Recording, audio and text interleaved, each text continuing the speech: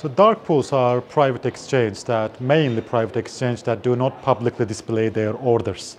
So basically in traditional financial markets we have limit order book. You can see buyers and sellers intentions, the price of orders as well.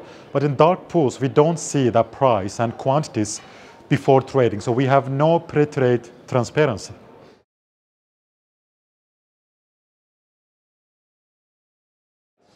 Dark trading prevalence increased significantly. So before 2005 in the US it was about approximately 4 to 5% and it was mainly used for block trading.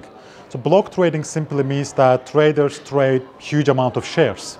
Okay, but what happened is that uh, after 2005 we see that dark trading proportion increased significantly.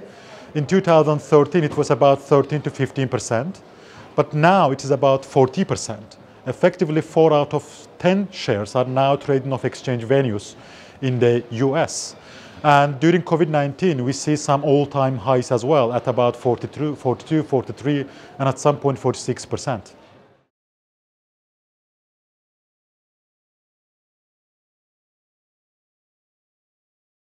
So the existing literature mainly focuses on how dark trading impact market quality. So we, we know that we have different theories, we have different empirical results, which says that dark trading can positively or negatively impact market quality. But what I'm interested in mainly is not how dark trading impact market quality, but how dark trading impact corporate policies through market quality. So we have two papers. In the first one, we are interested in how dark trading impact corporate cash holdings.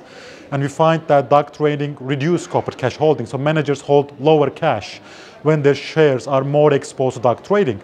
And at the same time, we have another paper which we show that dark trading impact managerial learning from financial markets. So it, which is called investment to price sensitivity in the literature.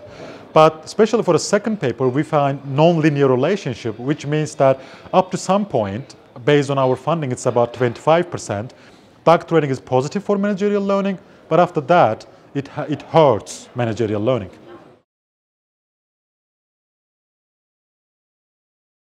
Data we got, it's, it's US-based data. We got the daily trade and quote data, which includes trades executing off exchange, which we say dark, and exchange venues. We get data from that database, basically. And to understand the result, economic channels, let me put it that way, we basically look how dark trading impact market quality in lit market, in traditional exchange, and how traditional exchange impact corporate policies. So kind of traditional exchange are bridge for us for to kind of link dark trading to corporate cash policies and managerial learning. We have huge regulatory discussions around dark trading.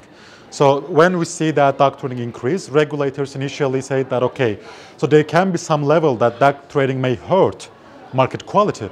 And some empirical papers indeed find consistent result with that. And motivated with that, for instance, the, the uh, European, the ESMA include MIFID II, which basically in, introduced restrictions on dark trading. But what we see is that it didn't give us what we are looking for.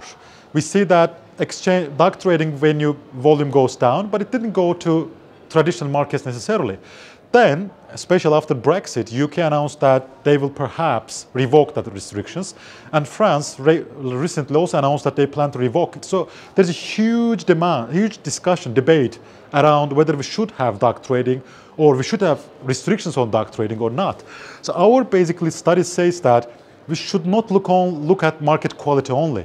We need to think about what happens at the corporate side to, to implement or not to implement that restriction. That's really important too.